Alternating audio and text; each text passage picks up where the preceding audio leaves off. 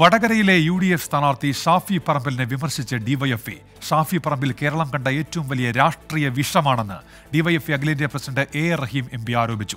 നാളെ ചേരുന്ന U D F യോഗത്തിൽ വർഗീയതയ്ക്ക് എതിരായ ബഹുജന പരിപാടി തീരുമാനിക്കുമെന്ന് D C C president Praveen Kumar പറഞ്ഞു. ലോക്സഭാ തെരഞ്ഞെടുപ്പ് കഴിഞ്ഞിട്ടും വടകരയിൽ വർഗീയത വീണ്ടും ചർച്ചയാകുകയാണ്.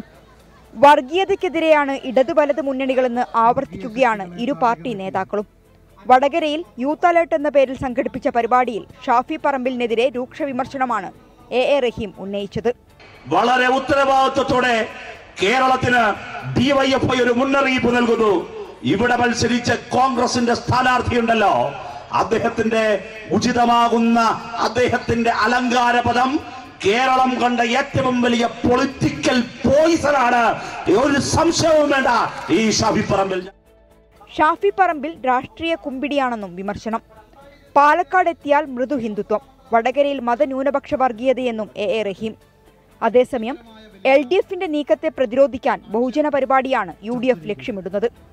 ട്വന്റി കോഴിക്കോട്.